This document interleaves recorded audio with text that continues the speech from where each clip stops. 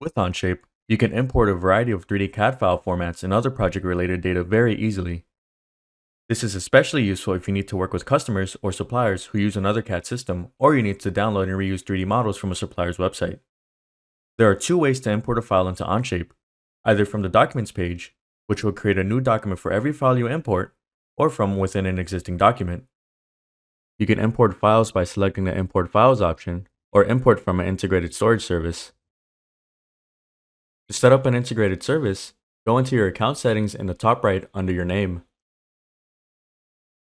Click on Integrations and choose which storage service to connect to your Onshape account. Once you choose the service to connect to, follow the prompts to add the service to your Onshape account.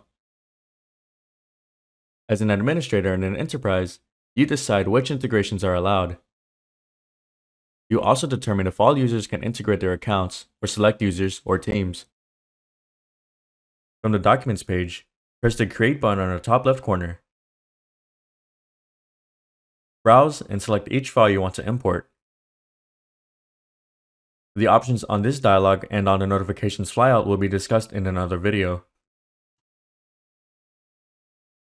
Each file uploads in turn and is translated in the background, if necessary, so you can continue working while the files are being imported.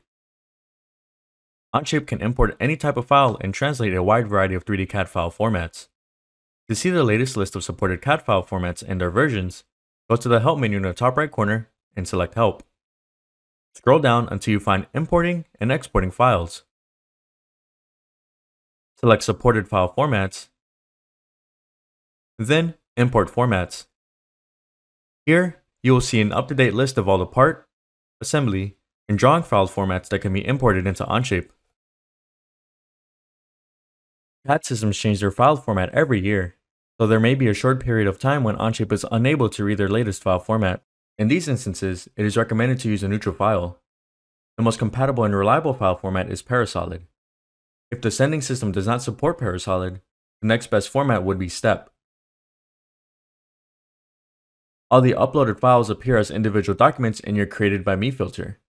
An uploaded file like a PDF, image or video, or any other non-CAD file type that can normally be viewed in a browser will be displayed inside a single tab within a document. For non-viewable files, the file will be stored in a single tab. To view this type of file, you must first download it by right-clicking the tab and selecting Download. You can then use an appropriate viewer to view the contents of the file. Supported CAD files are automatically translated. These documents will contain two or more tabs.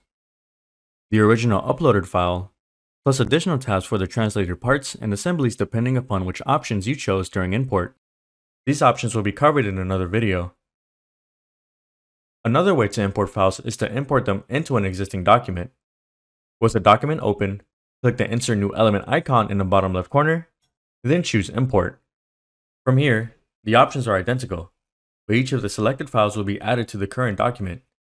As before, non-CAD files are added as individual tabs. Supported CAD files create two or more tabs, one for the original uploaded file, and one for each translated part or assembly. If an imported file needs to be updated to a newer version, right-click the tab and select Update. This updates any previously imported 3D files. Importing 2D drawing files will be covered in another video.